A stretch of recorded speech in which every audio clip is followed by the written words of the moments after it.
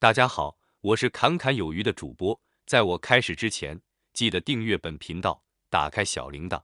这样我发布新内容时，你才能获得最新的节目通知。台积电近年来由于投资成本持续提升，为了达到长期毛利率百分之五十三的目标，尽管在半导体产业处于疲软时期，台积电仍然强势涨价。台积电在晶圆代工赛道仍然处于绝对领先的地位，不仅通吃三纳米工艺的大单。二纳米工艺业已经开始洽谈合作。最近传出台积电的二纳米工艺研发进度超前，二零二三年下半年风险市产良率可以达到百分之九十。苹果也将作为台积电的二纳米首批市场客户。然而，摩尔定律趋于极限，由于受到极紫外 EUV 的节点的限制，以及投资成本加剧等多重因素的影响，台积电晶圆代工价格持续高涨。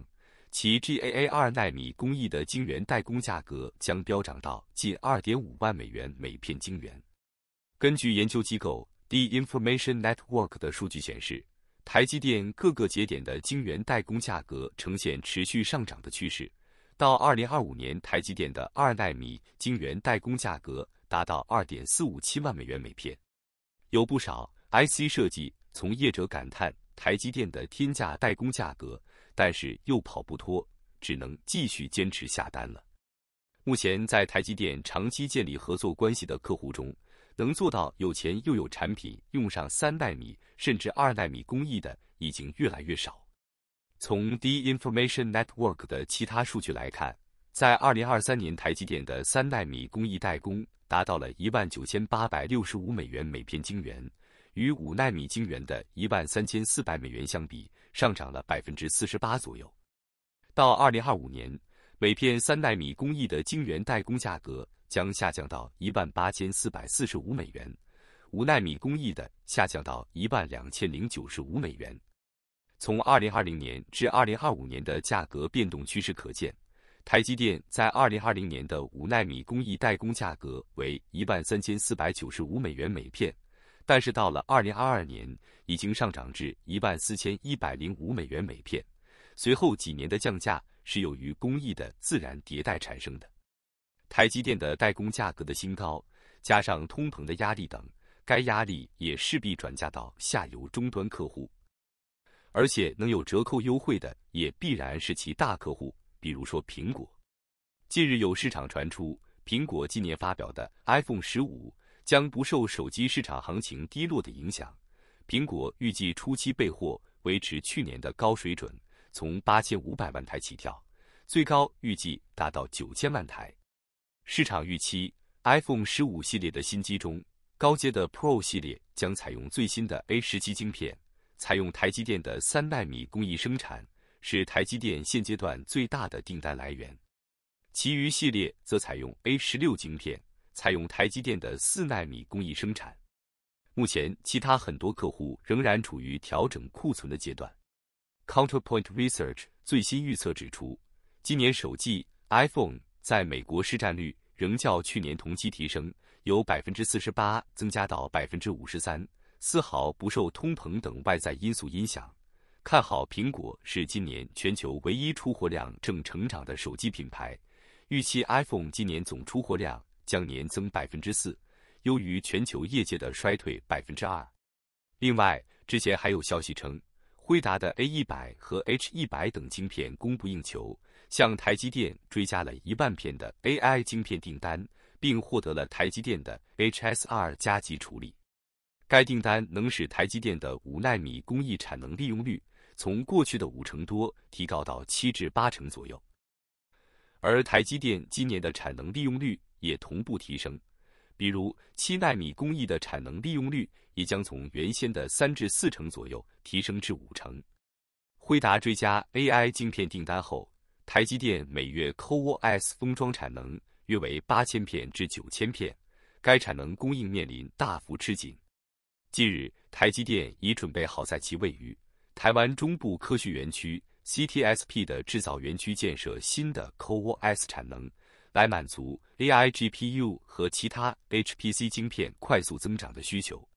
预计台积电 CoWoS 月产能将由目前的八千片晶圆增加至二零二三年下半年的一万一千片，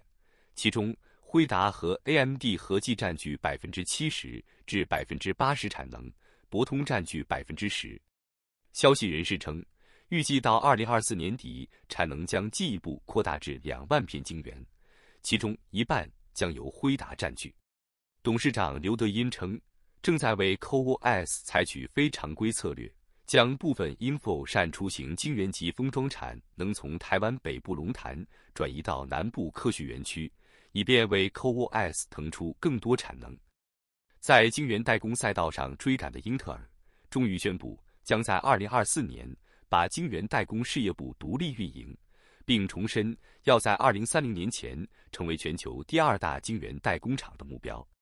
英特尔在欧洲的波兰斥资四十六亿美元建封测厂，在德国斥资一百七十亿欧元建半导体巨型晶圆厂，在爱尔兰对晶圆厂进行扩建。英特尔还在以色列与当地政府签署原则性协议，投资二百五十亿美元建晶片制造厂。在美国，英特尔在俄勒冈、亚利桑那州、新墨西哥州等都有建厂。这些建厂计划自然不排除积极响应欧洲和美国的晶片产业建设的号召，当然也看出英特尔重新夺回领导地位的决心。根据 TrendForce 数据显示，二零二三第一季度台积电以百分之六十点一的市占率主导晶圆代工市场，三星占百分之十二点四，英特尔的晶圆代工事业部并没有在该排名中。三星率先使用 GAA 三纳米工艺。并计划在五年内以此为突破点赶超台积电。TrendForce 指出，二零二三第一季度，三星的八英寸和十二英寸的产能利用率均下滑，第一季营收仅三十四点五亿美元，环比减少百分之三十六点一。不过，第二季将有部分三纳米新品产出正式贡献营收，预期季度跌幅将放缓。三星在去年五月宣布。在美国德克萨斯州泰勒市新建晶圆厂，投资额为一百七十亿美元。不过，由于通膨等因素，使得该投资建厂将增资八十亿美元。三星在喊出追赶台积电的口号的同时，也不忘了检视自家晶圆代工业务为何不如台积电。有两个弱点归结为多专案晶圆 （Multi-Project Wafer） 及 MPW 服务。细制裁、IP 伙伴规模皆不如台积多元化。细制裁全称智慧财产权和 Semiconductor Intellectual Property Core，指的是 IC 设计所使用的智慧财产权，技术门槛较高，竞争者相对少，具有极高的商业价值，因此被称作是半导体中的梦幻产业。细制裁 IP 是一种可重复使用、事前经过定义、验证。且满足特定规格的功能模块，也就是说，当一家 IC 设计公司要开发新的晶片，它不需要自行设计与规划晶片的每个细节，只要向 IP 公司购买成熟的 IP 模组，放入自家晶片的某个模块，就能实现某个特定功能。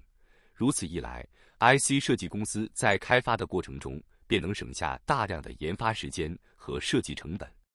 对于三星和英特尔的全面来袭，IC 设计从业者认为，多个晶圆代工合作选择对 IC 设计行业都是好事。不过，目前已经进入 GAA 三纳米工艺的三星，和将陆续推出 Intel 二十埃米和十八埃米工艺的英特尔，在工艺、良率、服务、客户信任、经济规模等各个方面还不如台积电。由于摩尔定律已经趋于极限。晶片成本随着时间推移已经很难再下降，追求工艺迭代让晶片效能翻倍的情况也已经过时了。因此，三星、英特尔在台积电的手中夺食撼动台积电的领导地位，实在有些痴心妄想。那么，本期影片到这里就结束了，感谢你的观看，期盼能与你产生共鸣。侃侃而谈，阔论有余。最后，请你点赞、订阅。这是对本频道最大的支持了，谢谢。